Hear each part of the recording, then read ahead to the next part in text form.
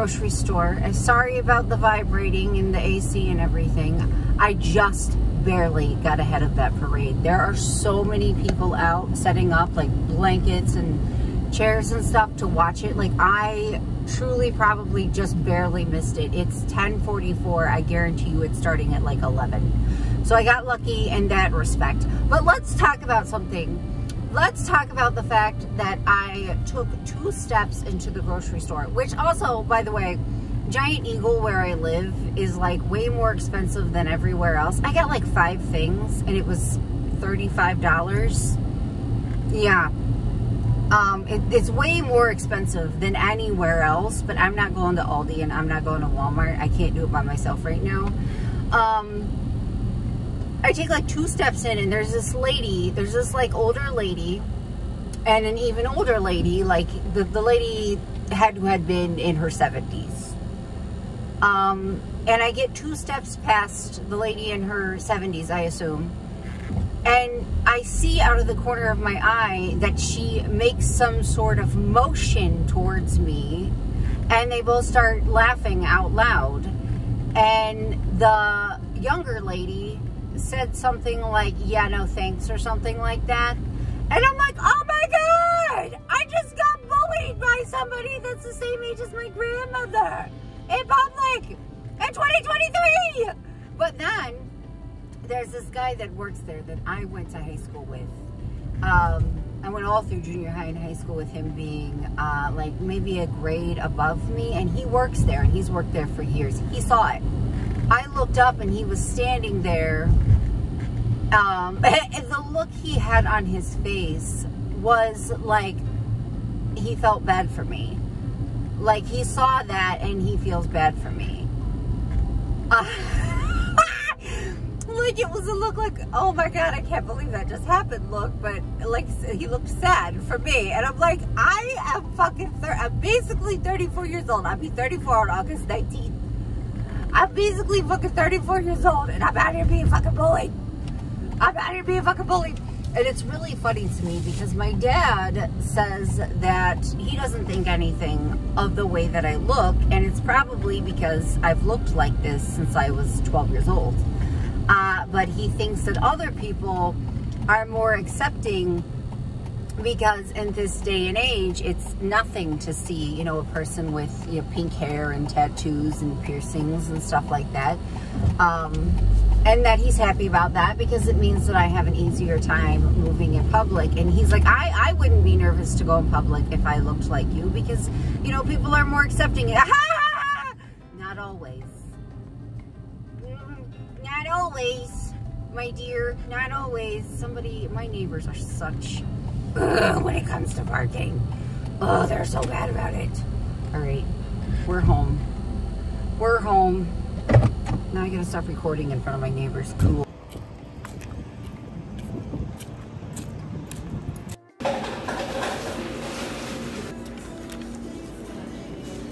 The bubbles on this are fucking weird. Look at it. Mm-hmm.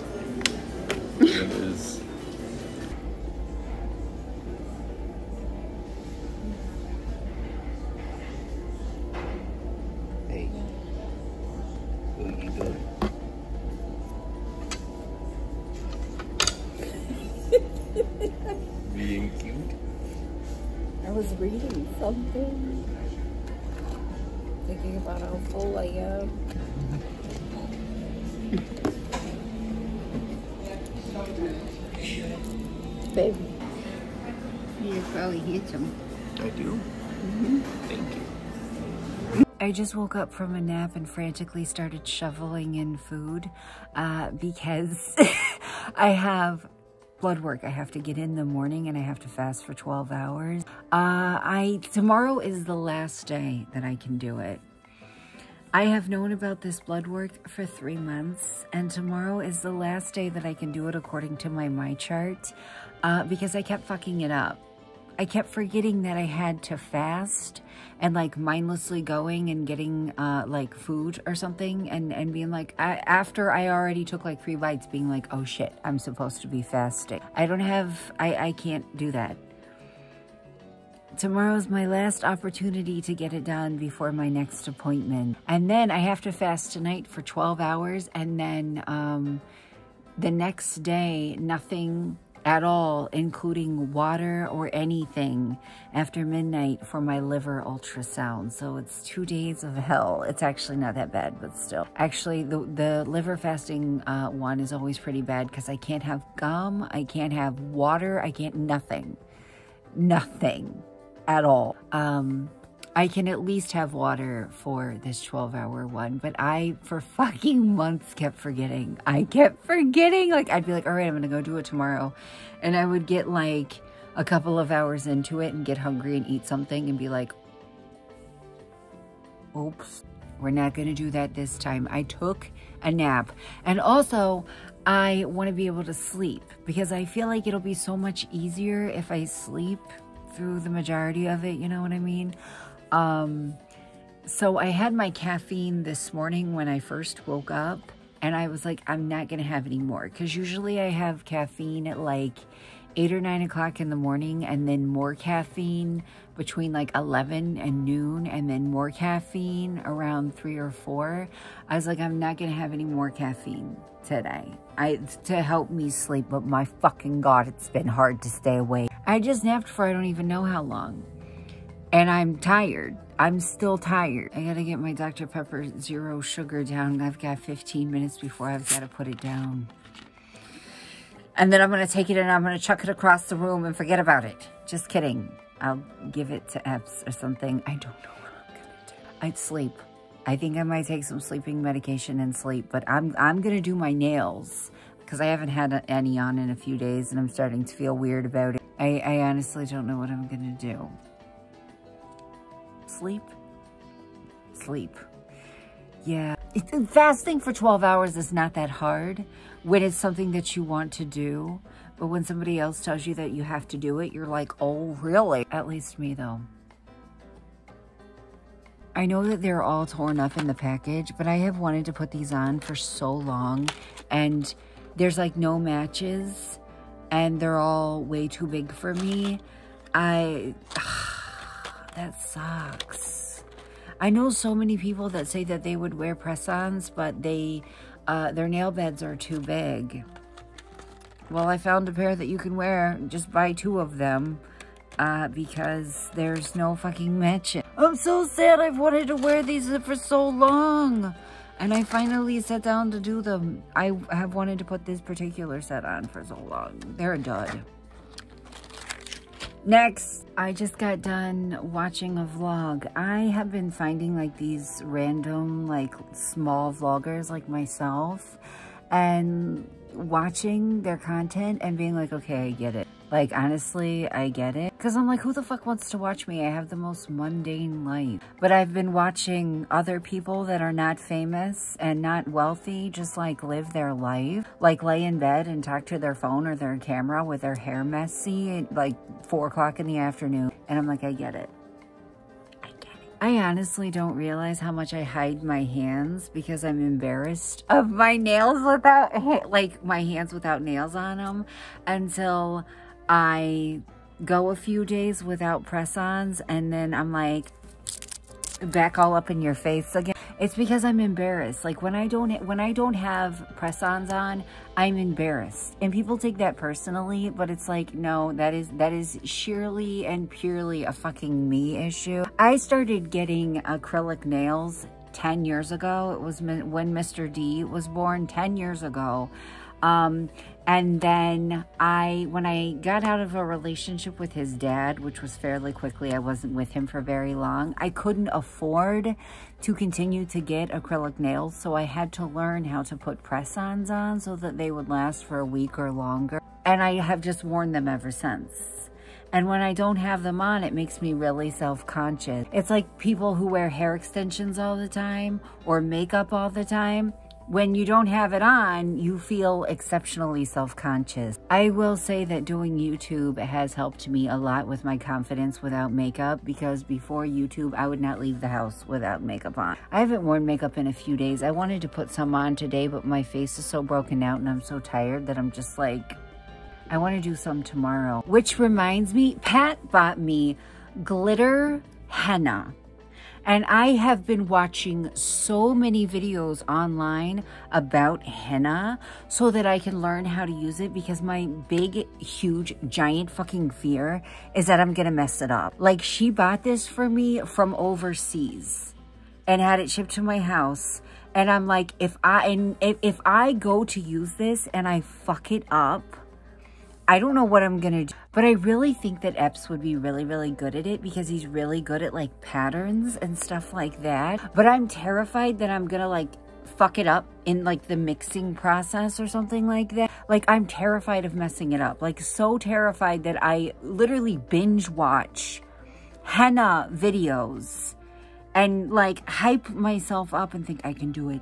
I can do it. And then I get terrified. I'm going to do it. I'm eventually when I stop being, I'm so terrified that I'm gonna fuck it up. I'm so terrified that I'm going to like ruin the henna. And then it's like all that money and the time and stuff is for nothing for her. Why? Like I love to overthink things to the point that I like ruin my own day. But also, do you want to see my nails? It took me four fucking ever. The reason that I brought up the vlog thing was because I was watching a vlog while I was doing this. So I sat here with a file and I was filing down these nails because I wanted these three on both hands to be different. This is a strawberry, a blue heart, and a cactus in a mug, like a cup. And this one is a flower in a heart-shaped vase, a peach that kind of looks like a heart, and then like a heart with a sunset in it.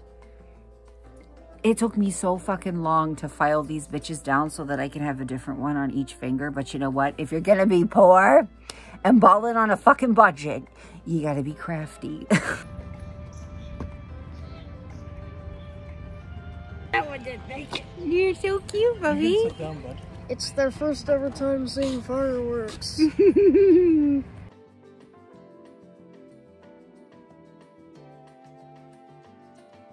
Stop it. Or, okay, it's recording. Is it recording? Yeah, I accidentally stopped it and then recorded it again.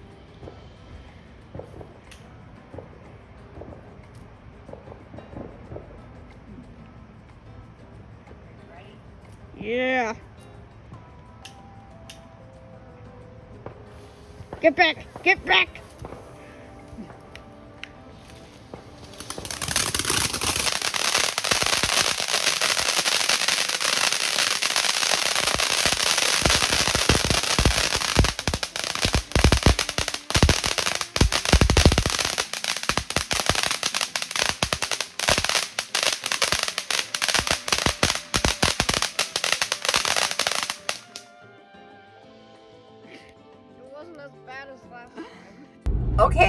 Have several things that I want to talk about, and I swear to God, if I get going and I look up and it asks me about my Wi-Fi hotspot, I'm gonna cry because that means that it will, will not have been recording, and also I feel like I have toothpaste on my face. And that would be my fucking luck. Um, anyways, so yesterday we took the boys to watch fireworks with no proof that there was ever any fireworks. I swear to you, Mr. E's dad, like we took the boys where we took them yesterday for fireworks. We took them when they were little, like maybe twice. And every year, Mr. E's dad is like convinced that they're going to do it again. Because they used to do it every year, but they stopped back in like 2019 because of budget cuts. And we're sitting there and I'm like, dude, there's nothing anywhere that says that there's going to be fireworks. There was like a couple other people down there um, who obviously were kind of hoping for fireworks as well. But like I was looking all over Facebook, I Googled it, I looked at like the city website. I was like, dude, I swear to you that this got cut out of the budget years ago. And I was right! There was no fucking fireworks! So, uh, Epps went and got this firework from Walmart called the Hoot. they're $13 and they're fucking huge. And the thing with living in Ohio is you can't use uh, fireworks that come off of the ground. At least the last time I checked, your fireworks have to stay on the ground. Uh, I guess to prevent catching shit on fire. Well, this this firework stays on the ground, but it goes up so high. We've done one twice. That I had to like find the perfect spot in the backyard that it wasn't gonna hit the power line. So I had to put it really, really close to the pool. I was like, I guess if the pool catches on fire, it's full of water. Like old water, but it's full, like, you know, I didn't want to knock out the fucking power for the whole neighborhood. But he, he swore to me up, down, and fucking sideways that there was going to be fireworks. I was like, dude, there's no fucking fireworks. There has not been fireworks in years. In fact, I think the last time that they did fireworks, they went out with like a literal bang because they knew that they were never going to do it again. Like they were like, this is the last year that we're doing this. We don't have it in the budget anymore, blah, blah, blah. He's like, yeah, blah, blah, blah, blah. No, no, no. Sometimes I know what I'm talking about we still watched fireworks. Uh, people were lighting them off across the river. Like, so we were watching them just go off randomly throughout the city. But we had sparklers and everything like that. I feel like this is the longest 4th of July of my fucking life. Because it landed on a Tuesday. People started celebrating on Friday. So it just feels like it's, it's the 4th of July that never fucking ends. But also, I want to talk to you guys about something that I'm going to try to not scream at the top of my lungs cackling about. And I'm so lucky that this worked out in my fucking favor. So last night, I can't sleep the night before I know I have something to do. So last night, I took sleeping medicine at around 10 p.m., maybe, no, not 10 p.m., around 11 p.m. Well, come about midnight, my ass was down in the kitchen eating. I swear to God, I felt drunk. I felt high. I didn't know where her, who I was or where I was. And I ended up eating. I fucking fasted. Uh, I uh, like three hours into said fast. I was texting my husband that I wanted to buy a whole rotisserie chicken and eat it in the fucking Giant Eagle parking lot with my bare hands because I was starving. I was like, I have to go to sleep. I have to fucking fall asleep or I'm, this is, I'm, I'm not going to make it. I was absolutely right. I delusionally fucking went into the kitchen and started shoveling food and I wasn't thinking about it at all. So I got a hold of the nurse this morning and she was like, just do it tomorrow. She said, uh, I said, I have an ultrasound tomorrow. She said, just do it after your ultrasound. Like, you'll be fine. Uh, yeah. I, I swear whenever, like, I used to do, like, IF and stuff. When I would do that, like, fasting for 12 hours was not that big of a deal. When somebody tells me that I have to do it, I'm like, bitch! Anyways. I woke up this morning and I started thinking about like me like acting like a fucking drunk person in the goddamn kitchen. I ate cottage cheese, peanut butter, and two pieces of sausage and like nobody was gonna fucking stop me. Like nobody was gonna stop my fucking stupid ass. That's so embarrassing. Oh my god. Should I waited around my house for this place to open up and they've been open for an hour and a half. I'm not joking you. I went to get out and realized I had to turn my radio off and I was like, bitch, did you just sit here and vlog with the radio on? Did you just put your channel at risk for a copyright strike? Not a claim, a strike. I watched all of my footage that I filmed on the way here back and I think my background music covers it up enough that I won't get a claim or a strike. Uh, I might get demonetized this video. I don't know. In other good news, this is the place that Epps and I were eating in that my wig was pushed back and you could see the, not only could you see my lace, you could see my wig cap. And Epps didn't say anything because I don't know why. And I'm like, mm, maybe she won't recognize me. I walk in there and she's like, do you have a punch card? She recognizes me. That's nightmarish. This is my fucking nightmare. It's like uh, on par with the Google Earth Street View camera that came by my house and I was standing on my fucking the front lawn looking like a goddamn cryptid. All right, I just got home. I think I'm going to go ahead and end this vlog. I literally just sat here and watched this whole thing back. And my, my, my Jeep's really starting to heat up. I got a little red face. All right, I'll see you guys uh, tomorrow. Bye.